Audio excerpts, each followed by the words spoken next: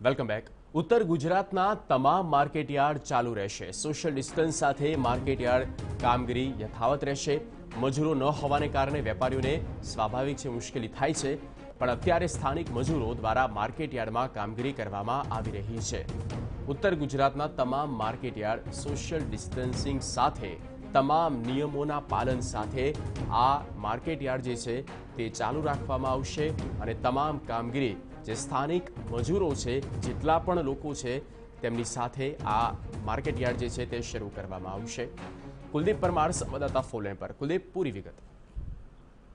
જગદીશ, જે પ્રકારે લોકડાઉનની સમયમર્યાદા વધી હતી તે વચ્ચે સરકારે તો માર્કેટયાર્ડો ચાલુ કરવા માટેની પરવાનગી આપી હતી, પરંતુ તેમ છતાં જે પ્રકારે મજૂરો અને અન્ય પ્રશ્નોના કારણે જ્યારે કેસ વધી રહ્યા હતા, ત્યારે માર્કેટયાર્ડો બંધ કરવામાં આવ્યા હતા. ખાસ કરીને ઉત્તર ગુજરાતની વાત કરવામાં આવે તો ઊંઝા માર્કેટયાર્ડ સિવાય તમામ માર્કેટયાર્ડો અત્યારે કાર્યરત થઈ ગયા છે. ખાસ કરીને બનાસકાંઠા જિલ્લાની વાત કરવામાં આવે તો જિલ્લામાં સત્તર જેટલા પ્રાઇવેટ અને સરકારી માર્કેટયાર્ડો આવેલા છે. તે તમામ માર્કેટયાર્ડો અત્યારે કાર્યરત છે.